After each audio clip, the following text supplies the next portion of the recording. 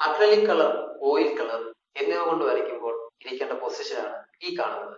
ഈ ഒരു രീതിയിൽ നിങ്ങൾ ചിത്രങ്ങൾ വരയ്ക്കുമ്പോൾ നിങ്ങളുടെ മുന്നിലുള്ള പിക്ചർ അതേപോലെ വരച്ചെടുക്കാൻ നിങ്ങൾക്ക് എളുപ്പം സാധിക്കും.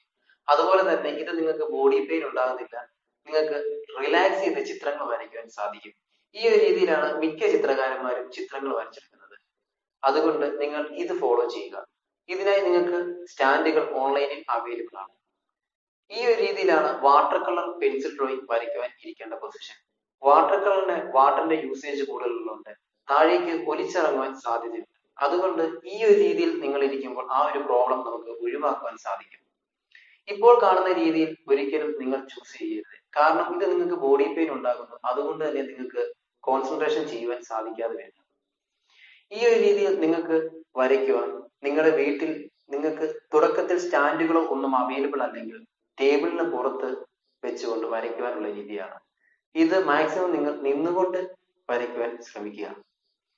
ഹായ് ഫ്രണ്ട്സ് ഇപ്പോൾ കണ്ട പൊസിഷനുകളാണ് നമ്മൾ സാധാരണ ചിത്രങ്ങൾ വരയ്ക്കുവാൻ തിരഞ്ഞെടുക്കുന്ന രീതികൾ.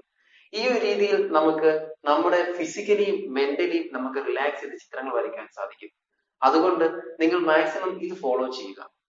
പിന്നീട് നിങ്ങൾക്ക് വേ നിങ്ങൾക്ക് കിട്ടുന്ന സാഹചര്യങ്ങൾ നിങ്ങൾ ചിത്രങ്ങൾ വരയ്ക്കുമ്പോൾ നിങ്ങൾക്ക് ബോഡി പെയിൻ ഉണ്ടാകുകയും നിങ്ങളുടെ പരിശ്രമം പാതി വഴിക്ക് അവസാനിപ്പിക്കേണ്ടി വരികയും ചെയ്യും.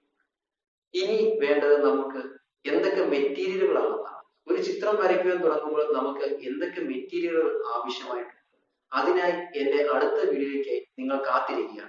എന്റെ ചാനൽ സബ്സ്ക്രൈബ് ചെയ്യുക ലൈക്ക് ചെയ്യുക ഷെയർ ചെയ്യുക. Thank friends.